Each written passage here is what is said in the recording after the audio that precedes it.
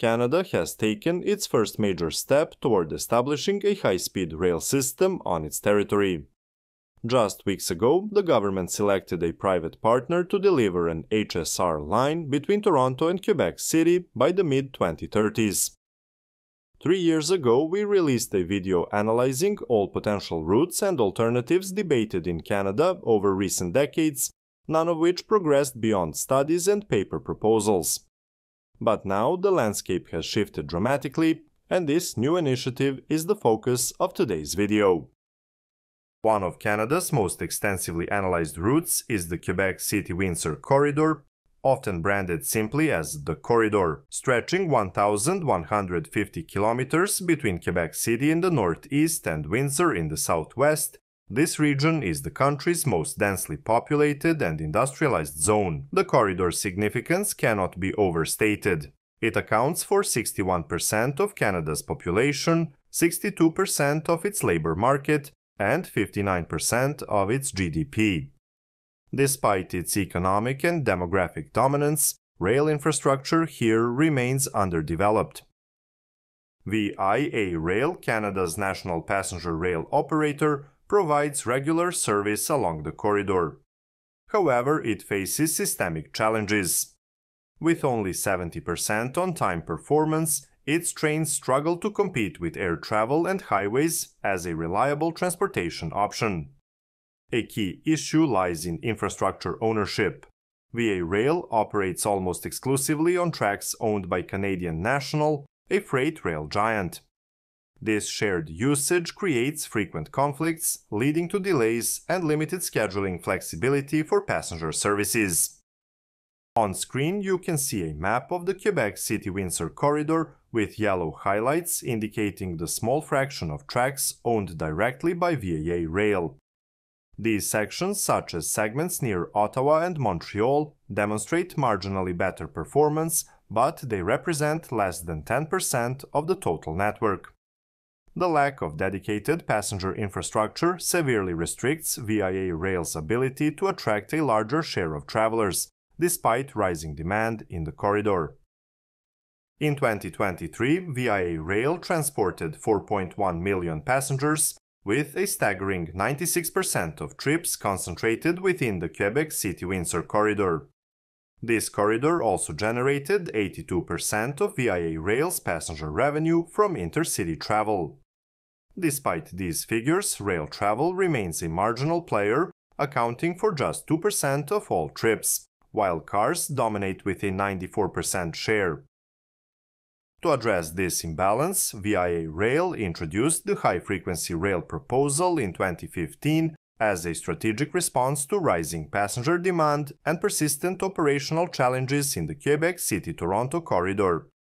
The HFR plan aimed to deliver significant service improvements without the prohibitive costs of a full high speed rail system. Unlike many traditional high-speed rail projects in Europe or Asia, which require entirely new infrastructure, the HFR model proposed upgrading existing tracks and reusing abandoned rail alignments where possible. This incremental approach sought to enable faster, more frequent, and more reliable service using VIA Rail's existing or slightly upgraded fleet. The original HFR plan estimated a $5 billion capital investment focusing on restoring the abandoned Havelock to Glen Tay railway alignment. This restored route would create a shorter, more direct path between Ottawa and Toronto, drastically reducing travel times between Canada's capital and its largest city. Additional upgrades to tracks near Peterborough and Trois-Rivières would raise standards to Class 5 or 6 allowing trains to operate at speeds up to 180 km per hour. The proposal also emphasized scalability with provisions for future enhancements like electrification or higher speeds once ridership justified further investment. Designed as a middle ground solution, HFR aimed to modernize rail service at a fraction of the cost of full high speed systems. While the high frequency rail project was initially seen as a cost effective way to improve rail service in the Toronto Quebec City corridor, it became evident that incremental upgrades would fall short of addressing long term travel demands. Even with proposed track upgrades enabling speeds of up to 180 km per hour, travel times would remain uncompetitive for key routes. For instance, the Toronto Montreal trip under HFR would still take over 4 hours, which is comparable to total air travel time when accounting for airport procedures, while car journeys average 5.5 hours, but it brings a convenience of door to door service. This left rail at a disadvantage for time sensitive travelers, particularly business passengers, limiting its potential to significantly grow ridership. Another critical flaw with the HFR model was its continued reliance on shared infrastructure. Although the plan included some dedicated passenger track segments, most of the network would still operate on Canadian National Freight owned lines. In this case, VIA Rail's services would remain vulnerable to delays, scheduling bottlenecks, and operational restrictions. Even with infrastructure upgrades, the lack of full separation from freight movements meant passenger trains would struggle to achieve the reliability and frequency needed to shift travelers away from cars or planes. Faced with these limitations, the Canadian government began exploring options for a dedicated high speed rail system marking a strategic pivot inspired by global successes. International examples demonstrated that fully dedicated electrified HSR networks operating at speeds up to 300 km per hour could dramatically outperform the HFR model. For example, a dedicated HSR line between Toronto and Montreal could reduce travel times to just 3 hours, offering a competitive advantage over both cars and air travel.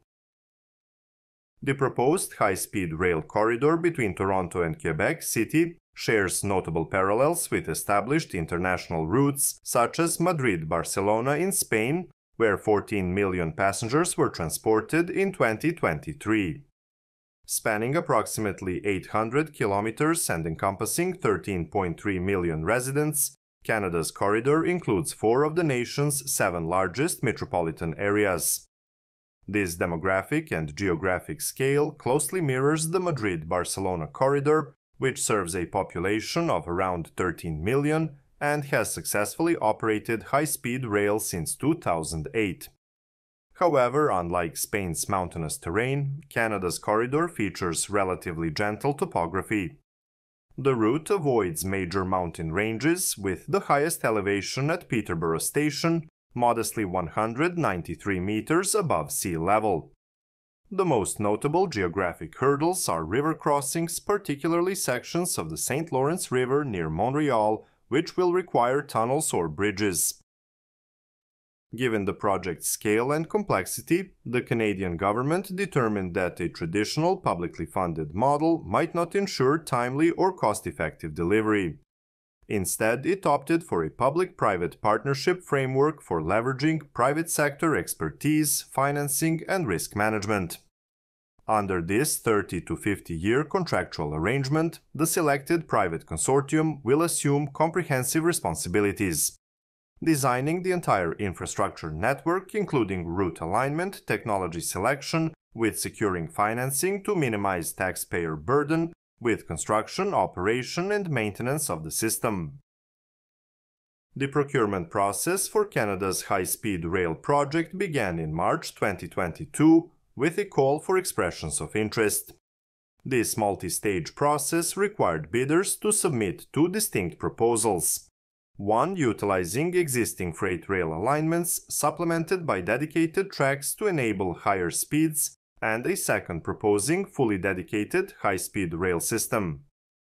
Bidders were also encouraged to submit innovative alternatives exceeding baseline requirements, ensuring the selection process prioritized solutions that maximize efficiency, speed, and long-term value for Canadian passengers. To manage the procurement's complexity and maintain rigorous oversight, the federal government established Alto, a subsidiary of VIA Rail, in November 2020, a specialized administrative entity tasked with coordinating stakeholders, including government agencies, private investors, and technical advisors. Simultaneously, Alto was assigned critical roles in regulatory compliance and community engagement.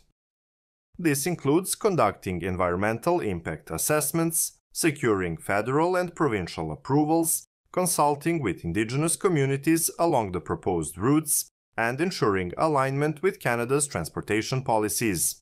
After two and a half years of intensive procurement activities, three consortiums have advanced to the final shortlist.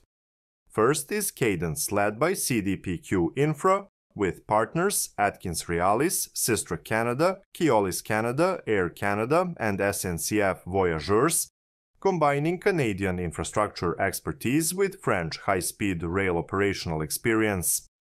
Second is Intercity Rail Developers, a multinational coalition featuring Ellisdon Capital, Kilmer Transportation, First Rail Holdings, Jacobs, Hatch, CIME Plus, First Group, RATP Dev Canada, and Spain's Renfe Operadora, which operates one of Europe's most extensive high speed networks. A third consortium is Q-Connexion Rail Partners, comprising Fengate, John Laing, Bechtel, WSP Canada, and Deutsche Bahn, leveraging German know-how in developing a high-speed rail system.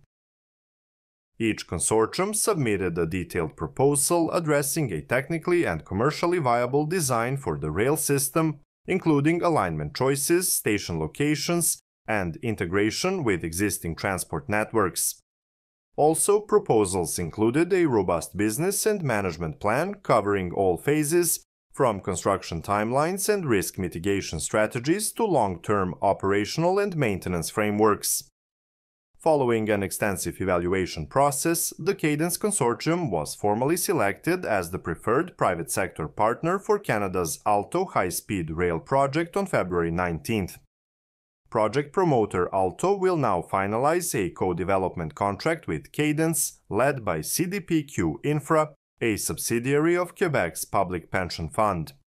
CDPQ Infra brings proven rail expertise to the project, notably through its ongoing construction of Montreal's Réseau Express Métropolitain, an automated light rail system featured in one of our recent videos. This contract will oblige the Canadian government to provide 4.2 billion Canadian dollars in funding over 6 years for planning and preparatory phase. While exact project costs remain speculative, preliminary estimates suggest a total price tag between 60 and 90 billion dollars, contingent on final design choices, land acquisition challenges, and construction timelines. The project now enters a critical phase where ALTO, other government agencies, and the Cadence Consortium must finalize the route alignment, station locations, and feasibility studies. Key tasks include initiating geotechnical surveys, land acquisition processes, and detailed design work that will last for several years. However, the project's trajectory may face uncertainty depending on upcoming government elections. A new administration could prioritize competing investments in military energy infrastructure or national security, potentially shifting focus away from high speed rail. Despite these challenges, the Alto project undoubtedly represents the most ambitious passenger rail initiative in Canadian history. Whether this becomes Canada's counterpart of California's HSR or Britain's HS2, only time will tell. For now, progress remains in its early stages, and we will continue to provide updates as tangible developments emerge. In future videos, we hope to discuss finalized route alignments and station designs. It's worth noting that once completed, the project is expected to replace a significant number of short haul flights between cities like Toronto, Ottawa, and Montreal with high speed rail services. For those concerned about airline impacts, Air Canada's participation in the consortium is no coincidence. They will get their own piece of the pie. If you enjoyed this overview, feel free to like, subscribe, and enable notifications to stay informed about upcoming content. For exclusive updates, consider supporting us on Patreon or becoming a channel member. Don't forget to check out our railway themed merchandise store your support helps us create more in-depth analyses. Thank you for watching, and we look forward to sharing more details as Canada's high speed rail journey unfolds.